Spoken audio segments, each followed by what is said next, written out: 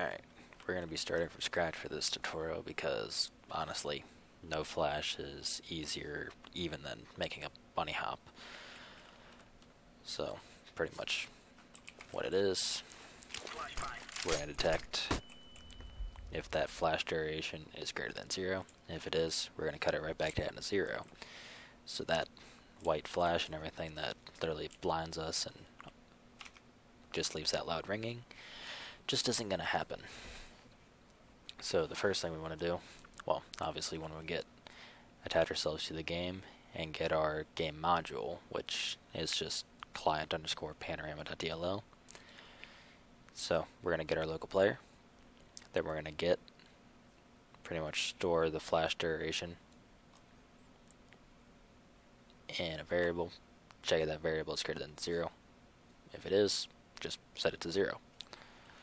So it's very, very simple. So let's go ahead and include our libraries. We're going to do windows.h. We're going to include our memman class. So include memman. Gonna make just like before. We're gonna do mem class as a way to access everything we need inside of that class. We're gonna make a structure for offset and we're going to make the what we access it by just called offset.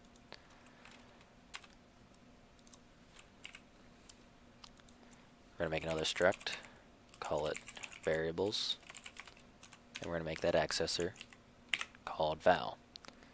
So for offsets, we want our local player and flash duration. I'm going to rearrange these just so it's a little bit neater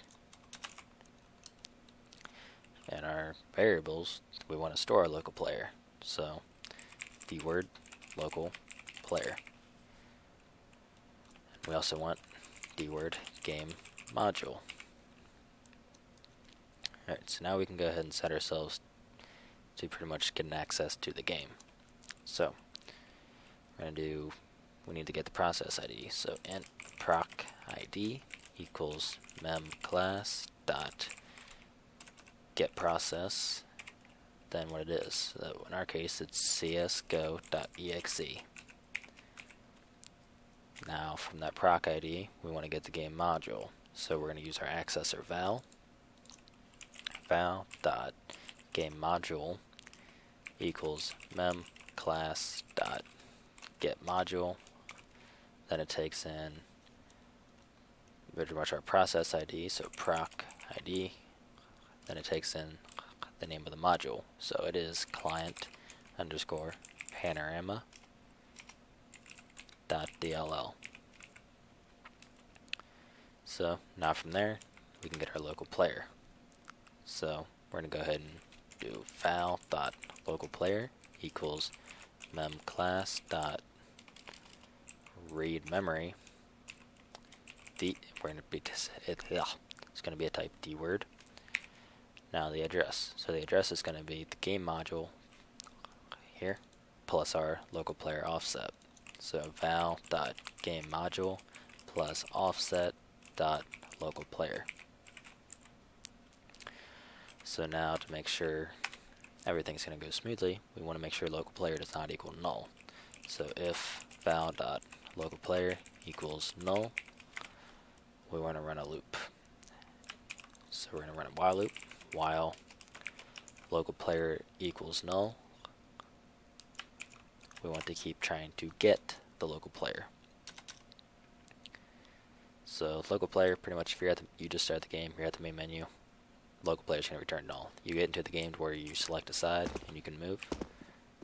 You, well, it's not going to be null, long story short.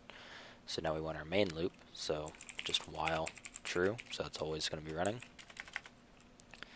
and as usual with external just add a sleep of one millisecond to the end. And now we are set up to where we can do what we need.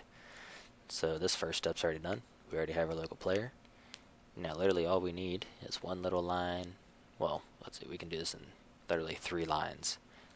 We're gonna get our flash duration. I'm gonna go ahead and make a integer variable actually no, that would be a I don't know it's either an integer or a float meh. We'll just do int uh, flash dir. We're just gonna go ahead and set it to zero. So we're gonna go off of our local player plus the flash duration and store that in flash dir. The variable just made it so flash dir equals mem class dot read mem type integer val dot local player plus offset dot flash duration. Now we can go ahead and print it out. Whoops.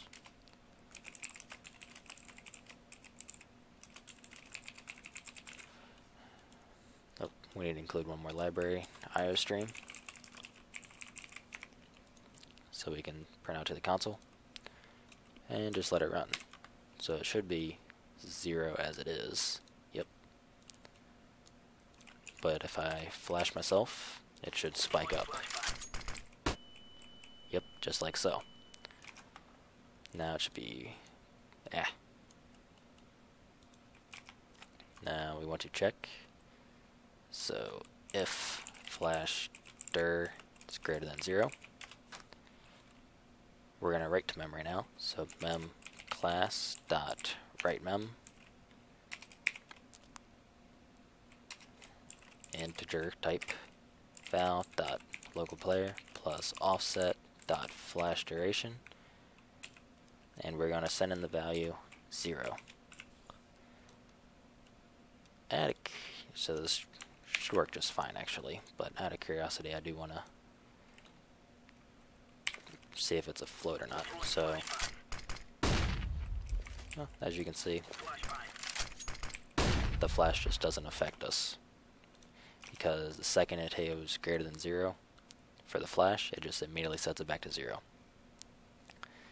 So, yeah, I'll leave the source code in the description. Hopefully this was at least somewhat helpful.